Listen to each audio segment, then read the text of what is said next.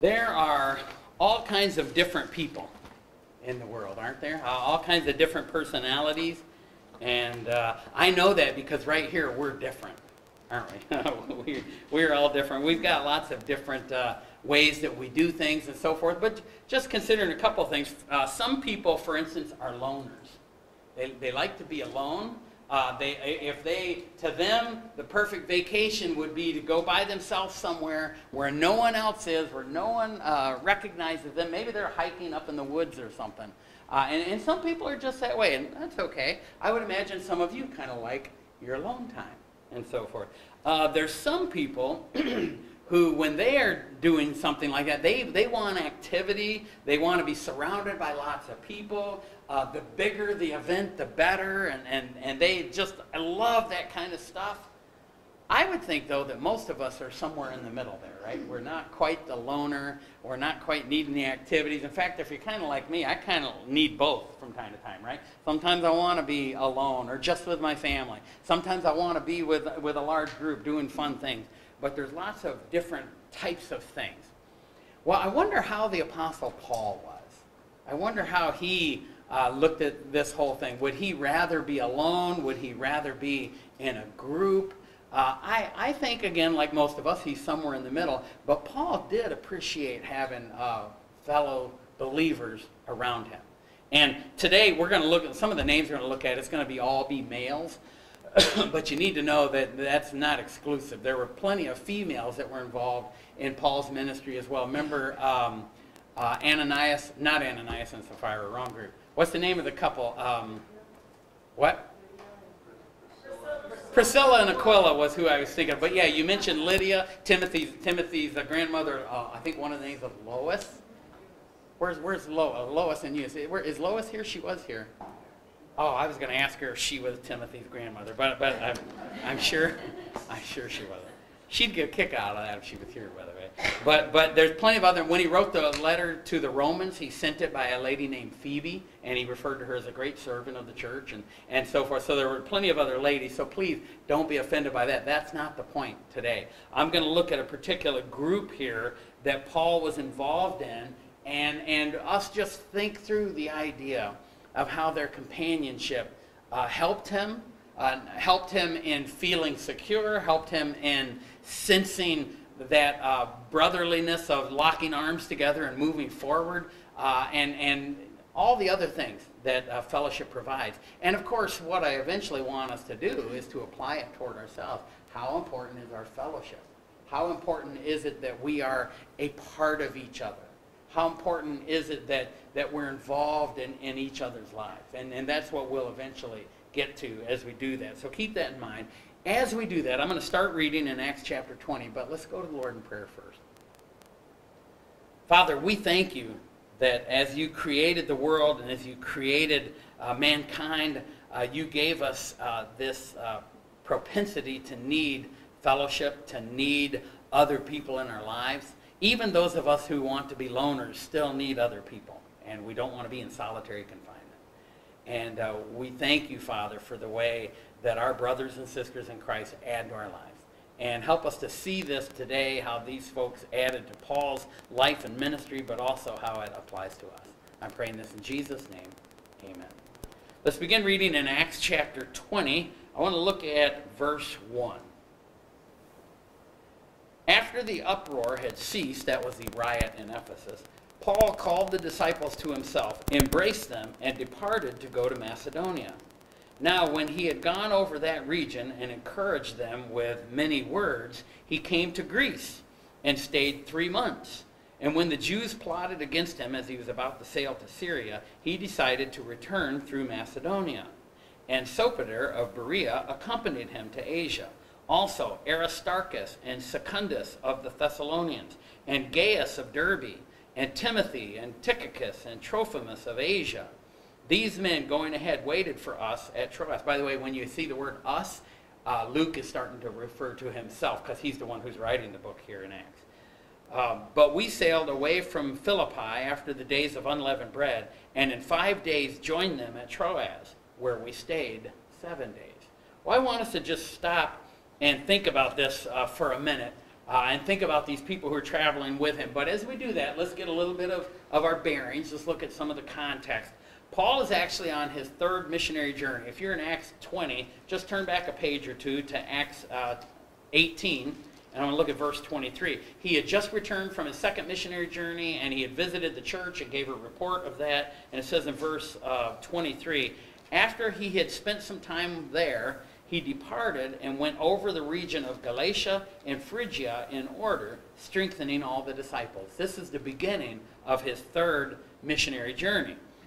And it says that he was visiting the established churches. That's where he had already planted churches. His first missionary journey, he went up into what we would call Galatia and Asia Minor, and he had, he had started several churches there. And then his second missionary journey, he went kind of through that region, but then went on over into Macedonia, where you find uh, uh, the Thessalon- Thessalonica and also uh, Corinth and, and Athens. You find those towns over there. He went through there. Well, so Paul wanted to go through all these places, again, strengthening the churches and helping to uh, make stronger disciples. So he was going teaching. That's what he was doing. He was giving them more biblical instruction, uh, helping them to learn. If you have to remember, a lot of these were churches. They were never churches before. They, they needed to know more about what does God expect from us as churches. Uh, even things as simple as how are we to be organized? How, how should our church operate? And, and how should we carry out business? That kind of a thing. And then how should we live in light of all the circumstances we see around us? And they were living in a pretty rotten society. They were living in, in a society that was involved with uh, lots of temple worship and idol worship and all the things that that led to, all of that. There was gross immorality. I mean, you think America's bad, and America does have its flaws, but this is every bit as bad, if not worse, uh, where they were. So Paul's going around teaching the disciples how to live in light of those things and how to, how to be the type of disciples that Jesus wants in his church. Well, that's what he was doing. And as he was going and doing that, he made a decision that he needed to go back to Jerusalem. And when he went back to Jerusalem, he wanted to bring uh, an offering from the Gentile churches back to Jerusalem because the believers back in Jerusalem were under heavy persecution. You know, if you turn to Christ, the Jews there, they didn't want you. They, they, they would put you out of work. They would, they would uh, do all kinds of things that would make life just difficult for you. And so the believers back in Jerusalem were, were struggling financially and in lots of other ways. And so Paul wanted to bring an offering from all of these Gentile churches. And again, he's going over this whole area where he had been with, uh, with his disciples, or, or establishing these churches and he's having them get an offering. Let me give you an example. While he was on this journey, he wrote uh, to the church in Rome, and let me turn to that. Romans chapter 15. Let me just read a couple verses to you, verses 25 through 27. Paul said to them, But now I am going to Jerusalem to minister to the saints, for it pleased those from Macedonia and Achaia to make a, a certain contribution for the poor among the saints who are in Jerusalem. It pleased them indeed, and they are their debtors. For if the Gentiles had been partakers of their spiritual things, their duty is also to minister to them in material things. Therefore, when I have performed this and have sealed, sealed to them this fruit, I shall go by way of you to Spain. So he's telling the Romans, I'm going to work my way back there. And these churches that I've just been in, they've been taking up an offering and they want to send it back to the people in Jerusalem. Now, I want to turn to another place. This is in the book of uh, 1 Corinthians, where Paul mentions the same idea of what he's doing. Uh, 1 Corinthians chapter 16, let me begin reading at verse 1. He says, Now concerning the collection for the saints, as I have given orders to the churches of Galatia, so you must do also. On the first day of the week, let each one of you lay aside something, storing up as he may prosper, that there be no collections when I come. And when I come, whomever you approve by your letters, I will send to bear your gift to Jerusalem. And if it is fitting that I go also, they will go with me. So you, you get what he's just saying? He says, if, if I'm going to have you appoint some men from your church that are going to go and carry this gift. And, and, think about the wisdom of that, first of all. There's, there's a, a fiscal accountability. Uh, instead of them just handing the money to Paul and Paul leaving town, who knows what he would do with the money? He could have spent it however he wanted. And in fact, that's what some of the false teachers that traveled around the world in those days were doing. They were raising all kinds of funds and then just spending it on themselves. You know, if it would be like some we know today, they'd be buying a private jet with it so they can fly wherever they want to minister or, or do all this. But no, Paul says, no, you're going to appoint some men and they're going to take that, that money and they'll go. And if I need to go with them, I will. And we know later that Paul did uh, end up going with them. But that's where we get the idea of these people, these men, that are going to travel with him as he goes. Now, uh, this is going to be companionship in difficult times. We, we read this, these verses already in Acts chapter 20, and uh, let me go back to that passage. In uh, Acts chapter 20, if you were to read the chapters before that, you'll see that they just went through some difficult times. There was uh, this riot in Ephesus, and they wanted to kill Paul. Paul, Paul and his group had been preaching the gospel. People were getting saved. Well, why would they hate that? Well, follow the money, and you'll see why. There, there were silversmiths there uh, where he was preaching, and they were finding out that this was cutting into their business because those silversmiths made idols. And as more and more people got saved, they quit buying the idols. And they recognized, look, we make money off of this. And this is a bad deal. So they, they, they whipped the people up. Of course, they didn't whip them up about money. But these craftsmen whipped the people up said, look, that we're, we have the temple of Diana. She's the great Diana. Of course, everybody got all upset. And, and they're rushing around. They're, they're, it actually says that they were so confused. A lot of the people in the mob didn't even know why they were there. They just knew that they're shouting about their Diana, you know. And uh, they grabbed a couple people. In fact, a couple of the guys that we're going to hear their names in, in just a minute were some that were grabbed, and they were like this close to being killed by a mob. And they were the ones that were traveling with Paul. Paul wanted to go into where they were. They went into one of the large theaters there, and Paul wanted to go in, but everybody was holding back, saying, no, don't go, don't go, because they, they would have wanted to kill you. And so forth. So they had that. Well, then now, as they leave, and as chapter 20 begins, it says there's another plot. They were plotting to kill him. I think this time it was the Jews. They wanted to kill him as he set sail. And, and he knew all that. And these men that were with him, they were in danger of all of those things. So as Paul is traveling, these guys were giving him companionship in the middle of all these things. Well, who are these guys? I want us to look at that. We already read their names in Acts chapter 6, but Bob's going to put a map up here. I know not all of you are, are into maps, maybe. I, I love maps. But this will kind of give you an idea of where they came from. You probably can't see a lot of it, but here, I'll do this. This is uh, Jerusalem right here, and this would be uh, Israel, and you go up around this part of the world. This is the Mediterranean Sea, but you go around this way, and it takes you more over into Europe and so forth. But uh, you've got all these regions. Maybe you've read some of these regions in the Bible. You've read of Cilicia and Cappadocia and Pamphylia. Maybe those names ring a bell to you. You've read over time. Here is Galatia. Galatia is not a city, it's a region. And here's what they call Asia. Now, when we think of Asia, we think of China or Japan and all that. But in this part of the world, that was Asia. I think it may have even been referred to as Asia Minor at, at some point.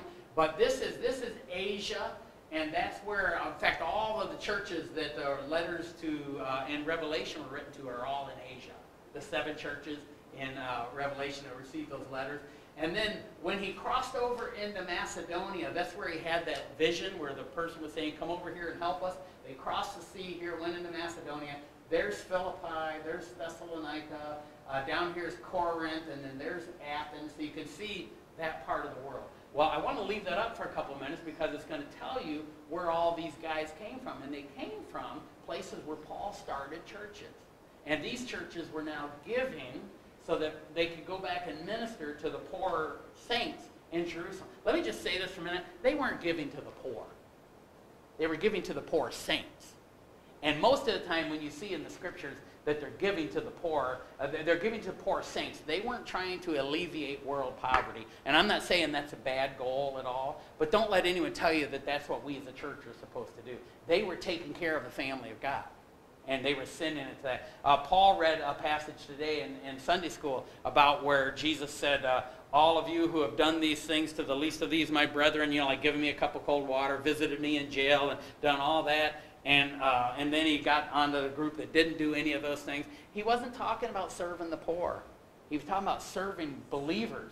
There were believers who were poor and believers who needed help. And you were either helping them or you were persecuting them, which is what the second group. So again, don't let anyone tell you that if you're not feeding the poor, you're not doing Jesus' work. The Bible doesn't say that. The Bible, when it's talking about, here's an example of them helping the poor of the saints, that is, the believers of the Lord Jesus Christ. I forgive me for going on to that, but that's kind of a pet peeve of mine, uh, and, and we just need to keep that in mind. That doesn't mean that we can't do things to help people who are poor, help people who need food items and stuff like that. We can do those, but never make it the major aim of what our church is. No. Uh, they were here helping fellow believers. Well, anyway, let's look at some of these names. Let me grab this here and I'll back up as I look at some of these. Uh, the people that he lists in Acts chapter 20, I want to think it's verse 3 and 4. First of all, he mentions uh, several of these who are from Macedonia. That's this area over here. And he mentions there's Berea and then there's Thessalonica. He mentions Sopater of Berea, and he mentions Aristarchus of the Thessalonians and Secundus, who are from the Thessalonians. Again, they were from these two cities here, these churches, and they were going with Paul on this ministry, helping him with that. And then he mentioned some people who are from Galatia. Well, over here's Galatia. And he says southern Galatia. So, like, there's the city of Derbe, for instance. And there's Lystra, right there. Well, he mentions uh, Gaius of Derbe. And by the way, when you see the name Gaius in the scriptures, that was a common name. It's about like someone being called Bill or being called Bob. Uh, it, it, it, it's, a common, it's a common name, and I'm not saying that's bad, Bob, but, it, but it's a common name, and just because you hear the name doesn't mean it's the same person. There's probably at least four different people mentioned in the Bible whose names were Gaius, and they're, they're different individuals, but here's one of them. And uh, he was from, it says he was from um, uh, southern Galatia, so that's uh, Gaius, and then Timothy was from right here as well. He was in that area. Uh, then it mentions people who were from Ephesus, and they refer to as Asia. That's going to be over here. I think you see right there is Ephesus. And uh, that's where these guys were from. He mentioned uh, Tychicus and Trophimus, both of Asia, and they were right around that area of Asia. All right, Bob, you can go back to the, the next screen again. Um, but then he mentions Luke, and Luke was traveling with him, or maybe I should say Luke mentions himself as he's uh, writing this particular story. And there were other people that traveled with him as well. And so there were several that were involved in this group. But these particular people, I think we've got seven different names given here of people who were messengers from the churches. And they were traveling along with their church's gift to go and minister to the saints back in, in Jerusalem. And these guys were all Gentiles. But they were going back to serve uh, let, me, let me rephrase that. I guess I'm not positive. Some of them could be Jews that were from these areas, but we think they were, they were mostly Gentiles. And they were going back to do this. But they were traveling with Paul, and they were experiencing some of the things that Paul experienced. But imagine what they added to the group. imagine what it was for this group to be together. Uh, if, if you had to go on a long journey, back then you were walking or riding a horse or, or riding on a ship, and wouldn't you like to have a group of fellow-minded people, like-minded people. And, and especially in this case, believers. That's what Paul had. He had these believers. Can you, can, do you think that they maybe joked around a little bit? Well, when we ever get together as groups, do we ever joke around? You know, think of the groups we've got here. We've got, I think of the ladies who are meeting next week, have their ladies' fellowship. They have a good time together. They joke around too. Uh, they do some serious things as well. I know we've got uh, our men's group that goes to the men's retreat. We have a blast uh, with each other. And then we've got, I, I, know there's been times that we've done church projects and a bunch of us will get together helping. I know some of you have helped uh, cut our wood um, the last couple years actually at, at our house for our firewood. Uh, we've gotten together and put on some roofs on houses and, and we've enjoyed that time. It's, it's been a blast being together and helping. I remember when Carl Schreiner fell off of Rich Savola's house off the top. I was by him one minute, he's down here, I turn, I go like this, and all of a sudden there's nothing. I thought the rapture happened. Only I was stymied. Why did Carl go and not me? I, mean, I, I couldn't figure that. But no, Carl had missed a space with his knee and fell off. And he ended up breaking some ribs, didn't you, Carl? Yeah, you know. And, and, and I mean, so we've had, we've had some dangerous things. Thankfully, we haven't had a lot of other more uh, tragic things going on as far as our groups getting together and so forth. But those, man, it's good fellowship. You encourage each other. We need each other. And, and that's what Paul was getting by them. They were doing a couple things. They, of course, were bringing financial help to the saints in Jerusalem. Uh, I believe it was a symbol of the worldwide growth of the church. as the church was growing, these guys were all from these different churches, and they weren't the only churches. There were other churches that could have sent people, but these were the ones that were sent. And, and the churches are growing. They're, they're spreading out into the rest of the world beyond Israel. Just like, just like they were told in Acts 1.8, or they would go from, from Jerusalem to Judea to uh, other parts of the world, Samaria, and unto the utter ends of the earth. Well, the church was doing that. And as this group travels together, they were representing that. There were also some practical matters that they did. Not only they help each other, not only they probably share food. I mean, I, I would imagine Secundus's mother was a really good cookie baker, and he had lots of cookies in his pouch, and you know they enjoyed that stuff. But they also helped protect each other, because in those days there were robbers that would wait. If Paul and Timothy were traveling, just the two of them, they could have gotten robbed, and this was probably a sizable gift that they were delivering. They could have been robbed, but now they're in a larger group and that provided safety. So they were certainly helping one another. I, I think this would have been a wonderful group to be around. Ha, have any of you seen? There's one TV show, and, and I don't get the channel that it's on, but it's The Chosen. I think it's about Jesus, and it's showing where he and his disciples are traveling around. Have any of you seen some of that of late? I've seen a few pieces of it. It looks like maybe not many of you are or have seen it. But what I really enjoyed about the few that I saw was it showed the dynamic within the group of the 12 disciples. And it was more than just the 12 disciples, there was a large group of people that traveled around with Jesus.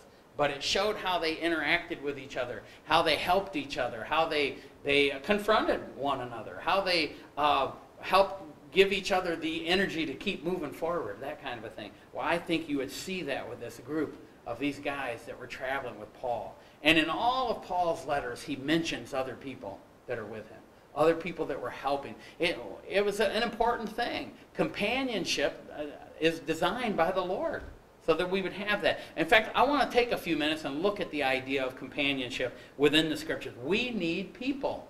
And the scriptures make that abundantly clear that we need people. We're never meant to go it alone. I, and that's why the church is here, as a matter of fact. But before we uh, get into the church idea, turn to the book of Proverbs, if you would.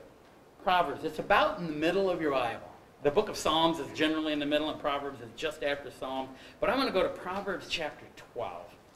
And I'm going to skip ahead to a couple other uh, chapters as we go. But in uh, Proverbs chapter 12, just think of the idea that, first of all, friends are important, but you need to be careful. You need to choose them wisely. Uh, verse 25 and 26 of chapter 12. Anxiety in the heart of man causes depression, but a good word makes it glad. Verse 26 The righteous should choose his friends carefully, for the way of the wicked leads them astray.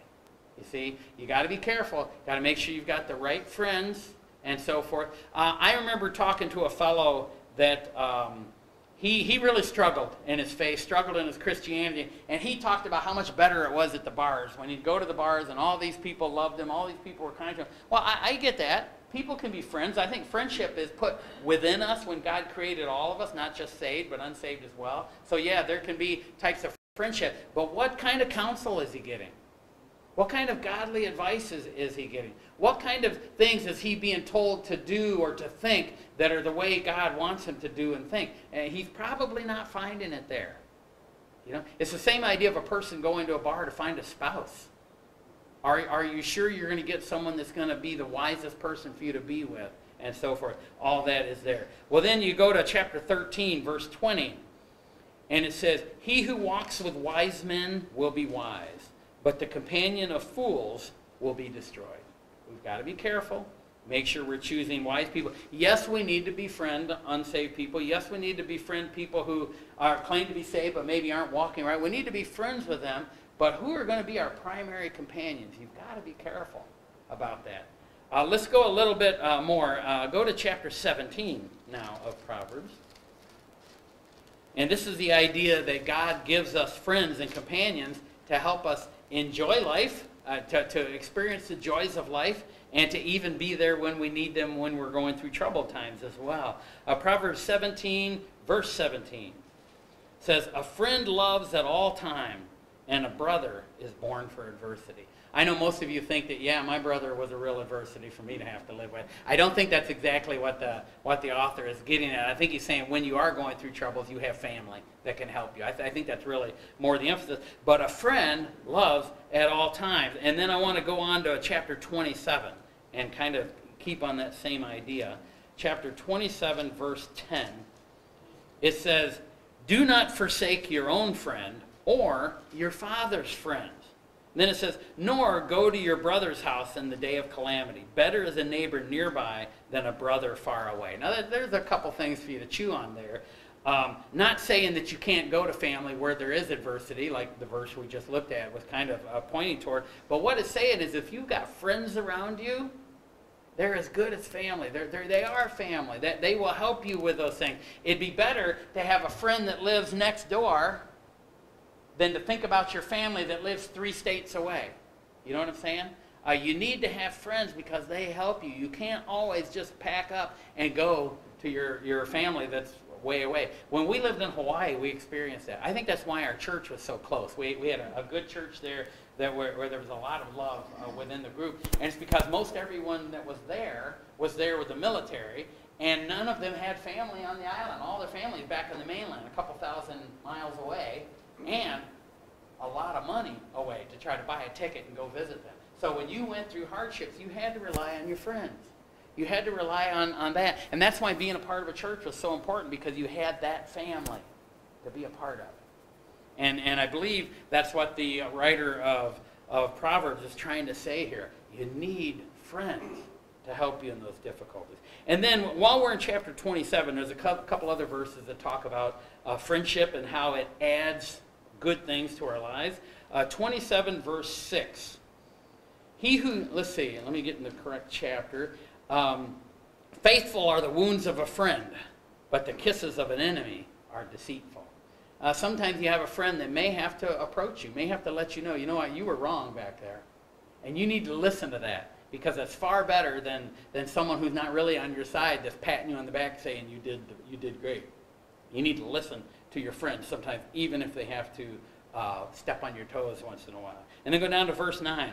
Ointment and perfume delight the heart, and the sweetness of a man's friend gives delight by hearty counsel. We need each other. Go to verse 17 of chapter 27. As iron sharpens iron, so a man sharpens the countenance of his friends. Uh, we need friendship. We need that. We, we need them who are around us. And God recognizes it. The Holy Spirit, as He inspires the Scriptures, obviously recognizes it because you see a lot of these passages that tell you that. And by the way, Proverbs is wisdom literature. God's trying to give us more wisdom by telling us these things. Uh, we need friendship. We need companionship. Uh, think about the, the most intimate of companionship that you have, and that'd be your, your spouse. Uh, marriage is, is, a wonderful example of that, that type of friendship. Have you ever asked yourself, what's the purpose of marriage? Is the purpose of marriage to have children?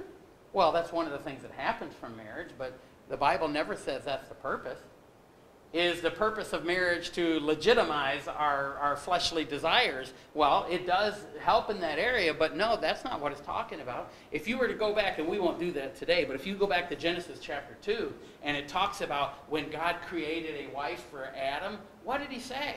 Genesis chapter 2 says that God saw man and said, It is not good that man is alone. I'm going to make him a helper uh, fit for him. And, and so the whole purpose of marriage from right from the very beginning is companionship. Companionship is extremely important for us. Yes, we have it in the closest relationship, uh, that of our, our marriage and our, our family, but we need it beyond that as well. We need everybody else. And, and that brings us to the idea of the church. How important is the church in our lives? I believe we must be a part of the church. Turn back in the New Testament to the book of Hebrews. Hebrews would be after Colossians where we were. But I want to look at Hebrews chapter 10. And this is, this is pointing out the importance of being a part of a spiritual family, the church. We, we need to be a part of that. Hebrews chapter 10, I'm going to begin reading verse 24. It says, And let us consider one another in order to stir up love and good works, not forsaking the assembling of ourselves together, as is the manner of some, but exhorting one another, and so much the more as you see the day approaching. The day would be when the Lord is going to return, the end times and so forth. But don't forsake assembling together. We need to be a part of a church. It's important. We need to be there to encourage one another, to stir up love, and to stir up good works. Uh, we need each other, and, and that's what I believe is one of the main purposes of the church. Yes, we're Christ's body. Yes, we're bringing the gospel to the world, all of that. But while we're bringing the gospel to the world, we have each other. We need to be a part of each other. We need to be taking care of each other. Um, in 1 Corinthians 12, uh, you don't have to turn there, but Paul's talking about how we as a group of people get together, and he says there, as he's describing the, the uh, idea of, the, of we being a body, he says, you know, there's lots of different parts that make up a body, so we're not all the same. He said, the foot can't say to the hand, because I'm not a hand, I'm not part of the body. And the hand can't say, well, because I'm not a foot, I'm not part of it. No, we're all part of it. We're all different. We've got those different personalities. We've got those different uh, uh, gifts that we can use to serve the Lord. Uh, we're all different. We've got different viewpoints, which we need. Uh, we have all of that. And that's what church, uh, Paul is getting at there in 1 Corinthians uh, chapter 12. he also says in Galatians 6, verse 2, a verse that we're all familiar with, bear one another's burdens and so fulfill the law of Christ. And the context of that verse is when you see a brother sinning, you need to be willing to talk to them about it. That's how you bear one another's burdens and so fulfill the law of Christ. But, but it's important. You can't do that by yourself. You know, it's not enough to listen to a sermon, especially now with the whole uh, pandemic when it came upon us and, and all these churches are posting their services online. We, we, we have been. Uh, now, now that the pandemic's over, we've been just posting the sermons. But it's not enough to sit there and watch a service because it's not about being at a service. It's not about just singing songs. It's not about just hearing someone teach the scriptures. All those things are good. All those things are helpful. But we are designed to be a part of a group and to be there with each other and to be rubbing shoulders with each other. All the things we talked about uh, back in, in Proverbs. Um, how, how can iron sharpen iron when they're watching each other on TV? It can't. They got to be together and they got to strike and, and, and go back and forth and, and sharpen each other. That's how it works. Uh, we need one another. We need to be able to do those things. Uh, the last passage I want to look at is back in Colossians, since we've been going through Colossians. I want to go back to Colossians chapter 3. And Paul is going to talk about this idea to them. And we'll look at it in more detail later. But it's the idea that we need to fellowship together. But how do you fellowship together? By the way, does the Bible say that we as brothers and sisters in Christ are going to get together and it's going to be just one big love fest? Everything's going to be wonderful. Look, if you're all living for Jesus, everything should be good, right? Actually, that's not what the Bible says. The Bible gives the idea that there are going to be problems. You know, as I look around our group and I think of other people that are part of our group that aren't here today, uh, we're all different, and not a single one of us is perfect. I mean, my wife is the closest one to it, of course, but, but none of us here are perfect.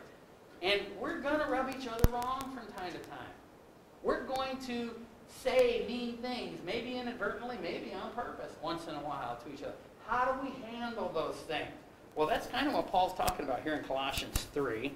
I want to begin in Colossians 3, uh, verse 12. He said, Therefore, as the elect of God, holy and beloved, put on tender mercies, kindness, humility, meekness, long suffering. Now, you might say, well, well, yeah, we need to do that, especially toward the world, right? Well, yeah, we do it toward the world. But keep reading, verse 13. Bearing with one another and forgiving one another.